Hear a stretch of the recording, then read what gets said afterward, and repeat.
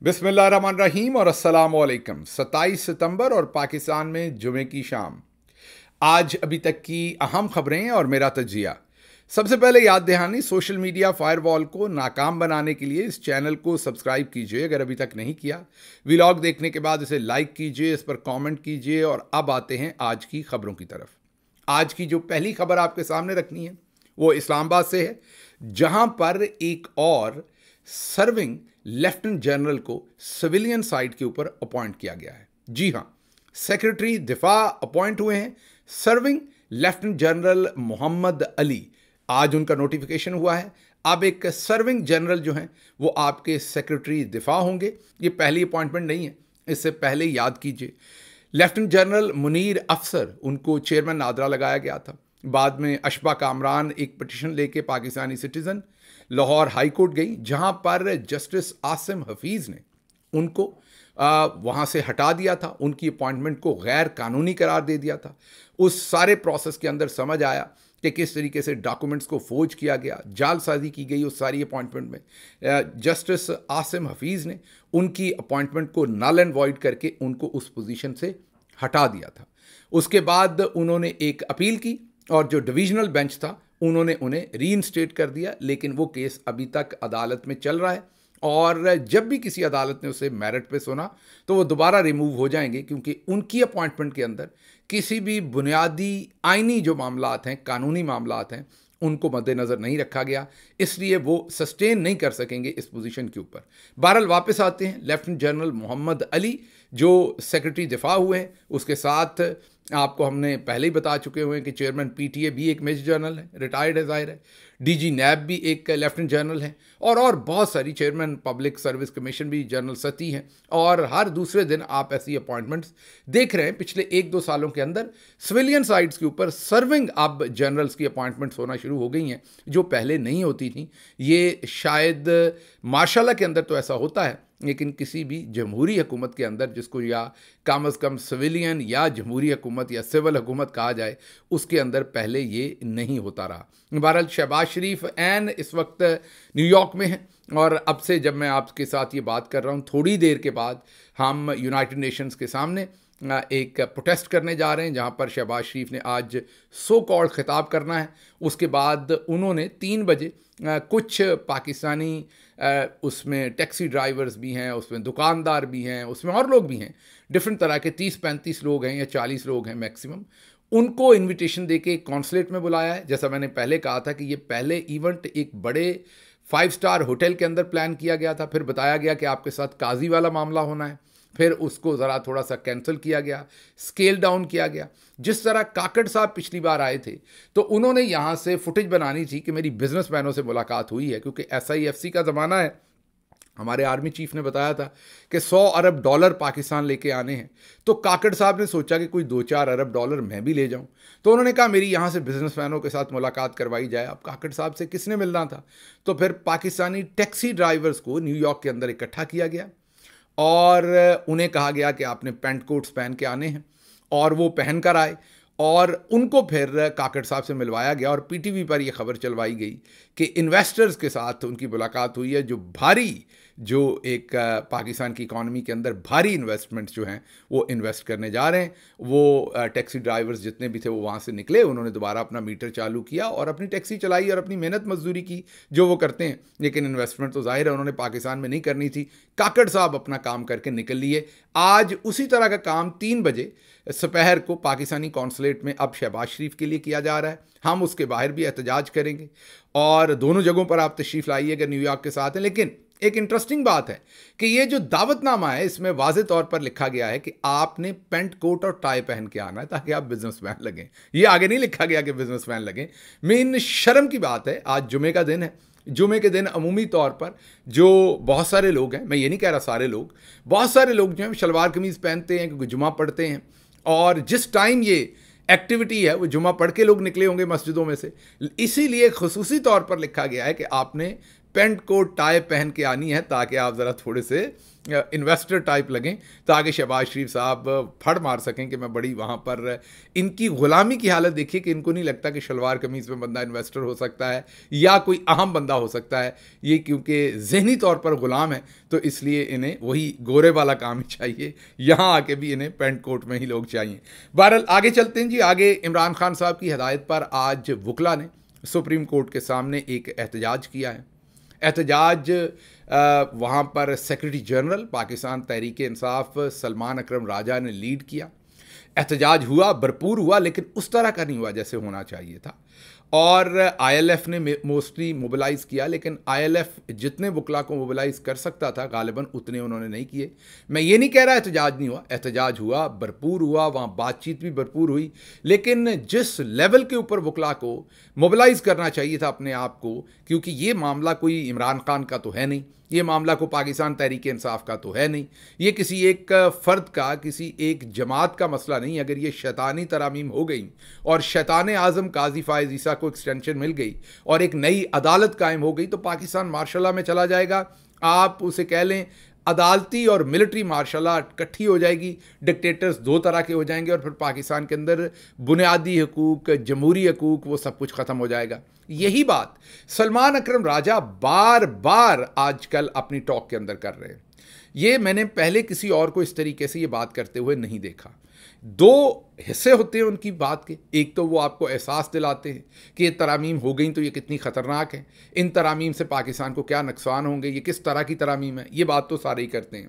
یہ وہ کو مختلف بات نہیں کرتے۔ لیکن جو بہت ہی مختلف اور انوکھی بات جو میں نے ابھی تک صرف سلمان اکرم راجہ کو کرتے ہوئے دیکھا ہے، وہ یہ ہے کہ وہ کیمرے کی آنکھوں میں آنکھیں ڈال کے عوام سے مخاطب ہوتے ہیں اور آپ کو بتاتے ہیں کہ آپ نکل نہیں رہے۔ آپ کو احساس دلاتے ہیں کہ آپ کمپیوٹر پر تو بیٹھے ہیں، آپ گھر میں بیٹھے تو آواز اٹھا رہے ہیں، لیکن آپ باہر نہیں نکل رہے، سلمان اکرم راجہ آپ کو بتا رہے ہیں کہ یہ بہت سینسٹیو مومنٹ ہے پاکستان کا۔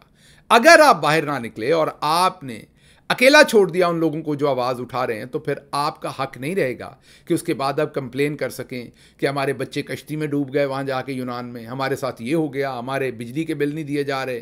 لوگ اپنی زندگیاں ختم کر رہے ہیں، غربت ہے۔ پاکستان نے قرضے زیادہ لے لیے ہیں، حکمران جو ہیں انہوں نے یہاں سے پیسہ بنا کے تو باہر جا کے اپارٹمنٹ پھر آپ کا کچھ گلا کرنا نہیں بنتا۔ کیونکہ اب کچھ لوگ، چند لوگ سڑکوں کے اوپر آپ کے لیے مار کھا رہے ہیں اور آپ نہیں نکل رہے۔ یہ اور کوئی نہیں کہتا۔ عمومی سیاسی لوگ کہتے ہیں لوگ نکل آئے ہیں، لوگ نکل آئیں گے، ہم یہ کر دیں گے، ہم نے یہ کر دیا ہے۔ سلمان اکرم راجہ آپ سے سچی بات کر رہے ہیں۔ آنکھوں میں آنکھیں ڈال کر آپ کو بتا رہے ہیں کہ آپ جتنی تعداد میں آپ کو نکلنا چاہیے، اتنی تعداد میں آپ نہیں نکلے۔ دیکھیے، ایک سینسٹیو پولیٹیکل ورکر ہوتا ہے، جس نے نکلنا ہوتا ہے، جس نے لاٹھی بھی کھانی ہے، جس نے ظلم بھی برداشت کرنا ہے، وہ تو عمران خان کا ہے اور وہ نکل رہا ہے اور وہ جلسہ ہوتا ہے۔ وہ پچیس ہزار ہے، وہ پچاس ہزار ہے، وہ لاکھ ہے، دو لاکھ ہے، پانچ لاکھ ہے، وہ نکل رہا ہے۔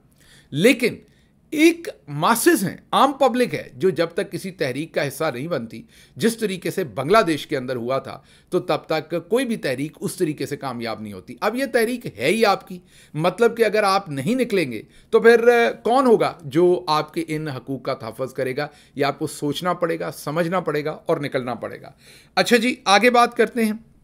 اگلی خبر جو آپ کو دینی ہے، وہ مولانا غفور حیدری کا آج کا پیغام ہے۔ بہت ہی اہم پیغام ہے۔ اور اس سے کئی جہتیں کھل جاتی ہیں۔ کئی جو کانسپریسیز یا ہپوکریسیز ہیں، ان کے آگے سے بھی پردہ چھٹتا ہے۔ مولانا غفور حیدری نے آج یہ کہا کہ قاضی فائز عیسیٰ نے مبارک ثانی کیس میں جو فیصلہ دیا، اس نے پاکستان کے تمام علماء کو ناراض کیا اور وہ فیصلہ غلط تھا۔ ان کے کہنے کا مطلب تھا کہ ان کے خیال میں اسلام کی روح کے منافی وہ فیصلہ تھا، پاکستان کے آئین کے خلاف وہ فیصلہ تھا۔ اور مولانا غفور حیدری نے یہ کہا کہ انہوں نے یہ جان بوجھ کے فیصلہ دیا۔ انہوں نے قاضی صاحب کو کیوز کیا کہ انہوں نے جانتے بوجھتے سب کچھ۔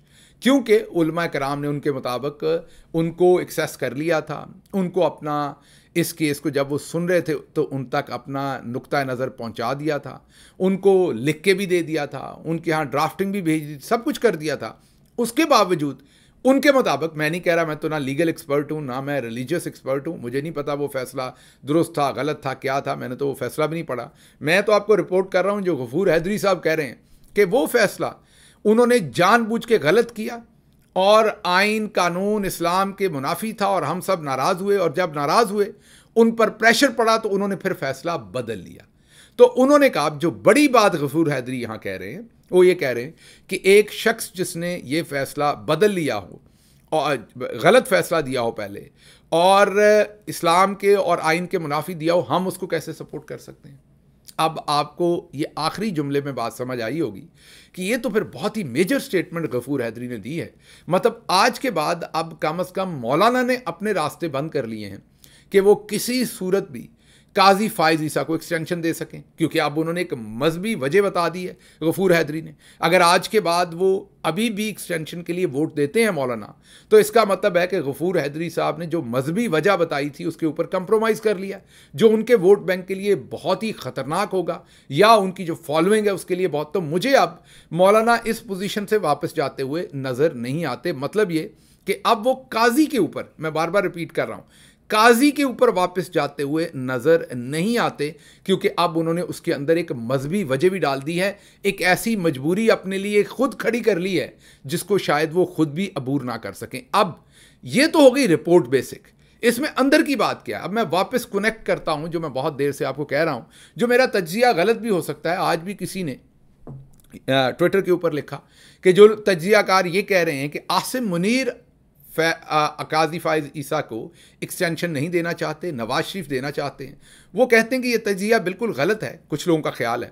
وہ کہتے ہیں یہ سارے ایک ہی پیج پہ ہیں اور یہ کٹھے کام کر رہے ہیں۔ اور کل کو جب آپ کا تجزیہ غلط ہو جائے گا تو آپ کو معافی مانگنی پڑے گی۔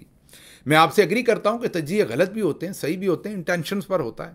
انٹینشن تو ہماری بری نہیں، ہم تو اس پوری سچویشن کو دیکھ کے سمجھنے کی کوشش کر رہے ہیں۔ اور سمجھ کر آپ کو بتا رہے ہیں کہ ہمیں کیا نظر آ رہا ہے۔ مجھے تو ابھی بھی نظر آ رہا ہے، سب کچھ دیکھ کے۔ اور اس کا ہرگز مطلب نہیں ہے کہ آصم منیر صاحب بالکل کسی قسم کی بھی پاکستان کے آئین کے اوپر کو مہربانی کرنے جا رہے ہیں، تحریک انصاف پر کرنے جا رہے ہیں، پاکستان کی عوام پر، ان کے جو سیاسی مقاصد ہیں، وہ پورے تب ہوتے ہیں اگر قاضی صاحب نہ ہوں جو میں نے۔ لیکن دوبارہ میں نے کہا کیونکہ یہ اتنی کلوز کنیکشن میں ایک دوسرے کے ساتھ کام کر رہے ہیں۔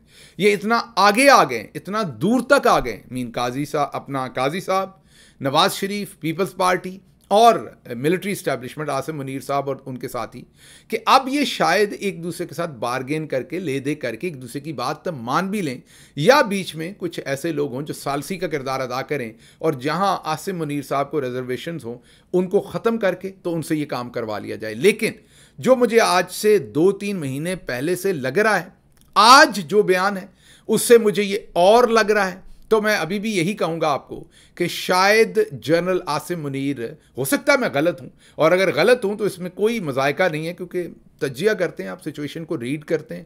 میں نے یہ تو آپ کو کبھی نہیں کہا کہ یہ میری خبر ہے، یا میں نے آپ کو یہ کہا کہ یہ ہوگا ہی ہوگا۔ میں تو آپ کو تجزیہ دیتا ہوں، جو کہ غلط ہو سکتا ہے۔ ہوگا تو آپ کے سامنے قبول کریں گے۔ مجھے ابھی بھی لگتا ہے کہ کہیں نہ کہیں کوئی مسئلہ ہے یا مسئلہ ہو رہا ہے اور ہوگا، اور قاضی صاحب شاید جس طریقے کی ایکسٹینشن چاہ رہے ہیں وہ ان کو نہ ملیں۔ اور آج کی سٹیٹمنٹ کے بعد تو وہ تھوڑا سا کام پھنس گیا۔ اچھا ایک اور چیز اسی میں سے نکلتی ہے، وہ بڑی انٹرسٹنگ ہے۔ وہ چیز یہ نکلتی ہے کہ ہمارے جو لبرل دوست ہیں، وہ قاضی صاحب کو ڈیفینڈ کر رہے تھے کہ یہ جو بیکری کے اندر بچہ تھا یا ملازم تھا، اس نے جو قاضی صاحب کو کہا کہ آپ پر لانت ہو، یہ ایکسٹریمسٹ ہے، وہ اس کو ایکسٹریمسٹ اس لیے کہہ رہے تھے کہ وہ سمجھتے ہیں، وہ لوگ سمجھتے ہیں۔ میں دوبارہ کہہ نہیں رہا کہ وہ غلط، میں رپورٹ کر رہا ہوں کو۔ غلط اور صحیح ان کی، ان کا ضمیر ہے۔ وہ یہ سمجھتے ہیں کہ یہ مبارک ثانی کیس کی وجہ سے ان کو لانت کہا گیا اور پاکستانی لبرلز یہ سمجھتے ہیں کہ مبارک ثانی کیس بالکل قاضی صاحب نے ٹھیک فیصلہ دیا تھا اور جو شخص ان پر اس کی وجہ سے تنقید کر رہا تھا وہ غلط ہے، وہ ایکسٹریمسٹ ہے اور مبارک ثانی کیس جو دیا تھا وہ پاکستان کے لیے بہت اچھا ہے، یہ پاکستانی لبرلز سمجھتے ہیں۔ اچھا جی آپ کی بات مان لیتے ہیں تو پھر آپ سے سوال ہے، جو غفور حیدری صاحب نے بات کی میں فواد چودھری صاحب سے یہ اہم سوال اٹھاتا ہوں کیونکہ انہوں نے بھی اس موضوع پر ایکسٹریمسٹ کہا تو پھر آپ سے سوال ہے کہ مبارک ثانی کیس جس کو آپ کسی نہ کسی طرح سے چلیں، آپ سمجھ رہے ہیں کہ وہ اچھا فیصلہ تھا، تو قاضی صاحب خود ہی نہیں اپنے فیصلے پہ رکے۔ انہوں نے تو خود ہی فیصلہ بدل دیا۔ تو جب انہوں نے خود ہی فیصلہ بدل دیا تو اب آپ فیصلہ کر لیں کہ پہلے فیصلے پر انہیں لانت کہنے والا ایکسٹریمسٹ ہے۔ تو جو انہوں نے فیصلہ بدل لیا تو اس پر تو پھر آپ کو بھی انہیں لانت کہنی چاہیے۔ کیونکہ آپ کے خیال میں وہ اتنا اچھا فیصلہ تھا کہ اس کے اوپر جو تنقید کرے وہ ایکسٹریمسٹ ہے تو اتنے اچھے فیصلے کو علماء کے یا پاکستان کی اور لوگوں کے پریشر کے اوپر آ کر قاضی نے اگر چینج کر لیا تو پھر آپ کے خیال میں تو بڑا غلط کام کیا۔ تو پھر آپ اسی پر قاضی صاحب کو لانت بھیج دیجیے اور اپنی رائے دے دیجیے کہ اس پر ایکسٹریمزم ہے لانت بھیجنا۔ اب اس بات پر لانت بھیجنا ایکسٹریمزم نہیں ہے۔ یا تو قاضی صاحب اپنی پوزیشن پر کھڑے رہے ہوتے نا، تو پھر تو پاکستانی لبرلز کی جو سچویشن ہے، اس کی ہمیں سمجھ آتی کہ جس طرح قاضی صاحب کھڑے رہے ہیں اور قاضی صاحب نے ایک اصولی فیصلہ دیا، چلیں وہ فیصلہ علماء کرام کے خیال میں غلط تھا، پاکستان کے ریلیجیس سائڈ کے لوگوں کے خیال میں غلط تھا لبرلز کے خیال میں وہ فیصلہ ٹھیک تھا۔ تو اگر قاضی صاحب اسی پہ کھڑے رہے رہتے تو لبرلز انہیں سپورٹ کرتے تو سمجھ آتی تھی۔ اب تو قاضی صاحب نہ گھر کے، نہ گھاٹ کے، نہ وہ ادھر کے رہے، نہ ادھر کے رہے، تو آپ اب لبرلز کیا فیصلہ کریں گے؟ ہمیں بتا دیجیے کہ کون سے والی لانت کیونکہ لانت تو بھیجنی پڑنی، یا آپ کو بھیجنی پڑنی ہے، یا ان کو بھیجنی پڑنی ہے۔ تو اب کون سے والی لانت ایکسٹریمزم میں ہوگی اور کون سے والی نہیں ہوگی؟ اچھا جی آگے چلتے ہیں۔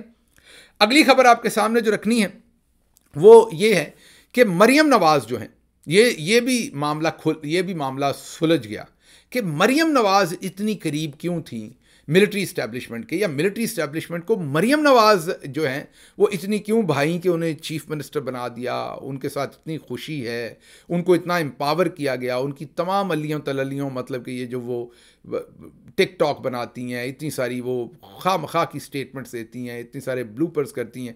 اس کے باوجود ملٹری اسٹیبلشمنٹ کی وہ لاڈلی ہیں، پیاری ہیں، کیا وجہ؟ ہے اس کا اس کا سالو کیا ہے یہ کوشچن سالو کیا ہے ہمارے نجم سیٹھی صاحب نے وہ کیا کہتے ہیں سنیے۔ مریم نواز شریف۔ جی۔ مریم نواز شریف جو ہے وہ بڑے کلوز رابطے میں تھی ود ہیڈ اوپر اور ان کی ہر ہدایت ہر بات کو وہ سمجھتی تھی اور امپلیمنٹ کرتی تھی۔ ان کا یہی خیال تھا کہ that's where the power lies so therefore it's important to stay close اور she did a good job اور انہوں نے کوئی یہاں کنٹروورشل چیز نہیں کی۔ تو اس لیے میں سمجھتا ہوں مریم کے جو مارکس ہیں they are higher in the establishment eyes then those of سن لیا آپ نے۔ وہ واضح الفاظ میں کہہ رہے ہیں کہ مریم نواز جو ہیں وہ چچا سے بھی دو قدم آگے نکل گئی ہیں اور انہوں نے ملٹری اسٹیبلشمنٹ کو جو راضی کیا ہے خوش کیا ہے انہوں نے ایک شکایت بھی نہیں دی اور سب سے زیادہ بڑی بات کہ وہ مسلسل رابطے میں ہیں بہت ہی کلوز رابطے میں وہ ملٹری اسٹیبلشمنٹ کے ساتھ اور انہوں نے کسی قسم کی شکایت مطلب کہ دبا کے بوٹ انہوں نے پالش کیے ہیں۔ وہ بہتر بوٹ پالشی ثابت ہوئی ہیں اور اس وجہ سے اب آپ یہ کہہ سکتے ہیں کہ مریم نواز جو ہیں وہ ان کے نمبر، یہ نجم سیٹھی کہہ رہے ہیں کہ ان کے نمبر زیادہ ہیں۔ شہباز شریف سے بھی زیادہ مریم نواز کے نمبر آئے ہیں اور اب اسٹیبلشمنٹ ان پر بہت زیادہ خوش ہے۔ تو یہ جو آپ سب سوال پوچھتے تھے اور آپ طرح طرح کے اس پہ تجزیے کرتے ہیں اپنے اپنے دماغ کے مطابق، تو آج آپ کو نجم سیٹھی صاحب نے یہ جواب دیا ہے کہ وہ ملٹری اسٹیبلشمنٹ کے اب شہباز شریف سے بھی زیادہ قریب ہے۔ اب یہ آپ تجزیے کر سکتے ہیں۔ ہر ایک کا نجم سیٹھی صاحب کا اپنا ہے، آپ کا اپنا ہے۔ نجم سیٹھی صاحب نے وجہ بتائی کہ بوٹ پالش بہت کرتی ہیں، رابطے میں بہت رہتی ہیں، بہت قریبی تعلق میں رابطے میں رہ کے جو بات وہ کہتے ہیں، ہر بات ان کی وہ مانتی ہیں، جس جس طریقے سے کہتے ہیں۔ اس اس طریقے سے مانتی ہیں، اس وجہ سے وہ قریب ہیں۔ آپ خبریں اور بھی تھیں، لیکن یہاں سے آپ سے فی الحال اجازت لیں گے، اس کے ساتھ ہی مجھے اجازت دیں۔ اللہ آپ کا حامی و ناصر ہو، پاکستان زندہ باد۔